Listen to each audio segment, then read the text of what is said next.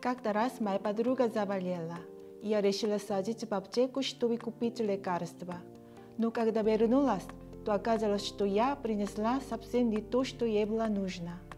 Тогда моя подруга сказала, «Очень жаль, что ты оказала мне медвежью услугу». А я задумалась, разве может медведь помогать человеку?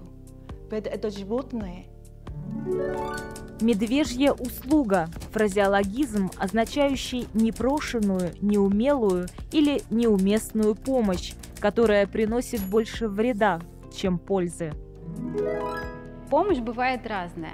Бывает своевременная, долгожданная, бывает корыстная, а бывает такая, которую и лучше и вовсе не оказывать. Такую помощь мы и называем медвежьей услугой. Но в этом случае человек, который помогает, наносит вред неумышленно. Например, когда студент дает своему другу списать ответы теста, а сам сделал много ошибок, и оба студента получают плохие оценки – это и есть медвежья услуга. Этот фразеологизм появился в русском языке благодаря басне Крылова, которая называется «Пустынник и медведь».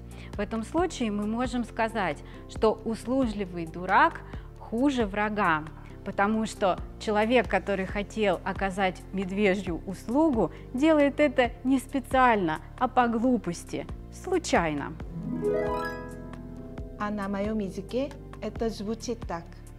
빈대 잡으려다 초가상간 태운다.